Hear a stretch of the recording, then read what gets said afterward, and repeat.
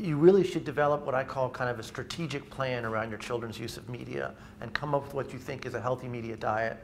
So the, the, what I mean by that is think about what are the things that you want your child to get from media, what are the things you don't want them to get. How many hours a day are acceptable to you or a week, okay? What kinds of shows are acceptable, what are not? And what are the situations in which, and I think this is also something that's really important because one of the things you always have to ask yourself is, what would your child be doing now if they weren't on TV or on their device, right? What's being displaced? So we talked about being at the dinner table. We know what's being displaced when people have their device at the dinner table. Conversation between family members, which is an incredibly important thing, right? It's a, scarce commodity these days, as you know, especially with, with families that have two working parents.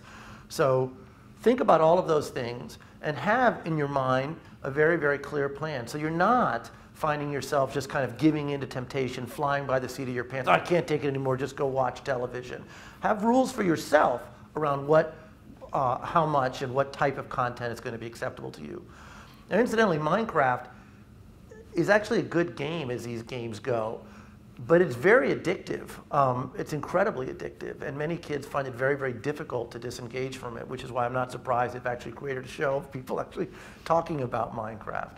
Um, so, so what are, what are my, what are my um, advice? The first is you should not feel bad or guilty about your children's use of media. Most parents do.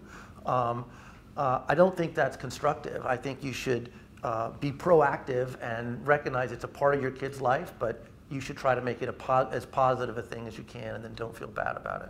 Um, consider media as a tool and not a crutch.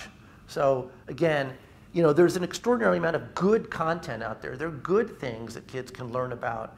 Your challenge is to find those and to use that as, so it's, again, we talked about content before.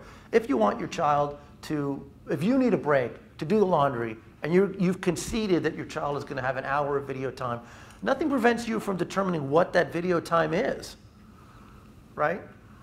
You can, you can let them watch the Ken Burns documentary on the Civil War instead of, uh, you know, instead of playing, uh, you know, whatever, um, Minecraft even.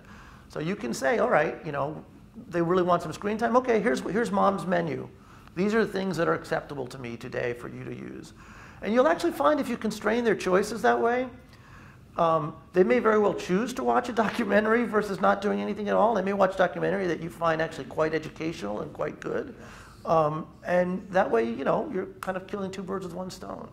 So, but again, this all comes from being kind of having a strategic plan, from really thinking about what are the kinds of shows, what is the amount of time, and then you have to do some research too, unless you have a long list of things that you think are already quite good. But there are lots of resources to find that, to find shows that, or, or, or documentaries that you think, and you know, there's a wide variety, right, that'll meet the needs of various children. Some kids like the, the kind of uh, nature shows on, and some like the baseball documentaries, some like civil, you know, I'm, the list is very, very long. So that's one more strategy.